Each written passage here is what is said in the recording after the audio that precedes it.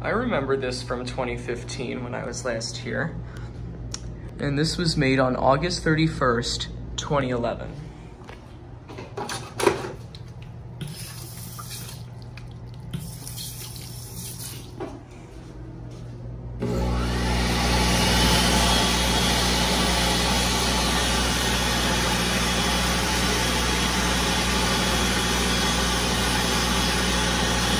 That startup though.